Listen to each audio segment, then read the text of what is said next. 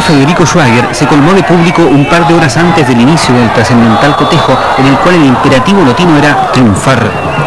Pero el capítulo, a la usanza minera, comenzó con sufrimiento, pues ya a los dos minutos Copiapó abría la cuenta mediante este tiro libre de Marcos Álvarez.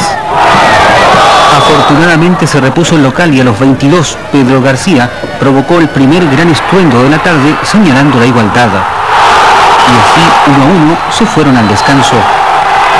En la segunda fracción, en base a un gran esfuerzo y un señalado temperamento que movió el aplauso, nuevamente Pedro García invocó el balón en el arco copiatino, desatando la euforia se sudó bastante, se bastante, bueno que era un partido difícil, complicado, pero nosotros subimos a marcar la diferencia, dejar los tres puntos acá en y, eso fue lo que hicimos. O jugarla toda, jugar nuestra opción acá en casa y ahora vamos a jugar nuestra opción allá en Copiapó. Eh, gracias a Dios se dieron las cosas.